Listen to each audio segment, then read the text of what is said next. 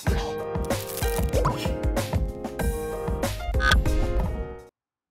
everyone, welcome to favorite YouTube channel My Project Ideas. Today we are going to make a C++ project on the topic payroll management system. Let's see the requirements of this code. You require an IDE for running and compiling the source code. Second, you require code blocks or VS Code for better experience. Third, you require an operating system. You may use any operating system, but the recommended ones are Windows 10. Now we'll see the code and I'll run this code and show you the working as well. So here first we have included all the header files, then the standard line that is using namespace std. Then we have a integer data type of uh, value 0 and name is num. Then we have certain functions like go to xy, call delay, border, border no delay, login frame, intro, login menu, insert, edit, etc. We'll see what does these functions do one by one. Here this is the class employee. Here uh, in the employee class under the public access specifier, we have all the employee attributes like the name of the employee, code, designation, experience, age, salary, loans, HRA, PF, and many more things. We'll see what this do. Then in the get records function, what we are going to do is we are going to get the record of the particular employee. Here we are using file handling procedure and uh, the file which you have been using is records.txt. In the save records function again we have this records.txt function, uh, records.txt file in the write mode and the read mode as well. This is the uh, call delay function. In the call delay function what we are going to do is we are going to give a pause like it works like the delay function like after certain time you can again progress. Then in the login frame 1 in this function basically this is the login frame. Here the top and bottom borderline will be displayed after certain interval and the left and right borderline will also be displayed. This is the login function. Here you have to use the username and password. The username will be admin and the password is password. And after which it will say that the login is successful and you will be redirected in 3 seconds. If the access will be denied, it says access denied and you will be again redirected in 3 seconds. This is the call delay function actually.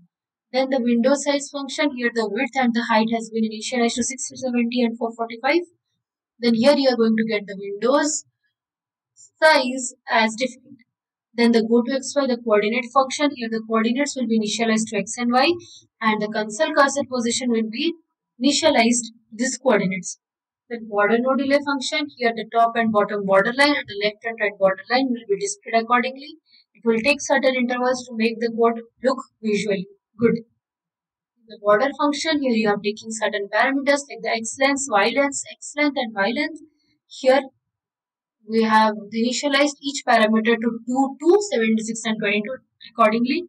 Then again for the top and bottom borderline and for the left and right borderline we have certain different attributes. This you can visualize and I'll show you the output. So don't worry about it right now.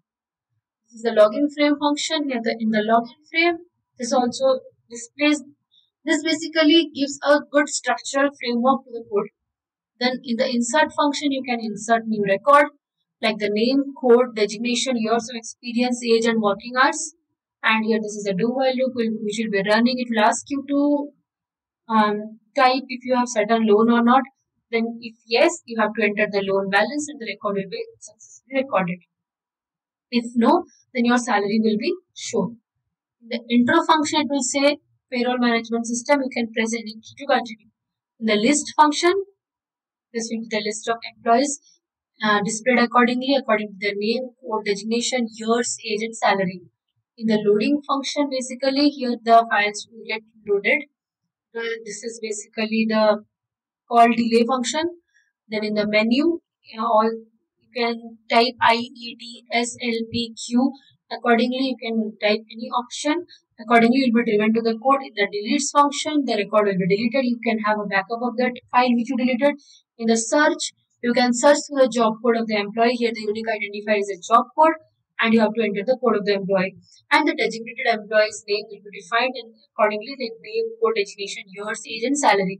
Then if the record will not be found, it will show records found. In the edit menu function, you can edit anything like the name, code, designation, experience or any attribute you can edit as per your choice. But you need to have the access. Then for different attribute, you have different function like for name you have edit name, for code you have edit code, for experience you have edit experience, for age you have edit age and so on. Then we have the final edit function. Here we are going to call. accordingly to what we want to edit. And the display payslip, all the payslip of the employee with all the attributes, with all the functions get displayed, with all the particular allowances that he has been assigned to. This is the main function. In the main function, we call all the functions because the execution of a program begins from main and ends in main as well. Here we have used a switch case. In the switch case, we have certain options, certain functions called through which the various functionalities can be performed. So now we'll run the code and we'll see what the output exactly looks like. Okay. We the terminal C. This is the delay. This is the work of the delay. So I have entered C This is the call delay function. So it is giving a very good look to your computer. And when passcode is P A S S W O R T. Access has been denied. Okay. My username is admin. Passcode is P A S S W R T. Login is success. So now, okay. What I'll do is I'll insert a new record. Hi, my name is Simran 12. Designation I am a. Years of experience 2. Age is 20. Working hours is 5. Reload no. Record successfully. Now let me edit and show it to you. The job code I guess was 12. I'll be editing the name. So my name will be Simi. Cool. Now I'll quit. I won't edit anything. Now I'll list the employee table for you. See. Change. This is mine. This data I have entered before. This I have entered now. Cool. Then I have to employee ka payslip I have to show my earnings, my deductions, all everything is been displayed here. And my total pay is also displayed. Got it? Now let's search for a record. My job code is 12. See, Simi 12. My designation is software developer. Years 220 and salary. Now we'll quit. So I hope you understood the working of this program. For more interesting project ideas, stay tuned to our channel. Thank you and have a great day.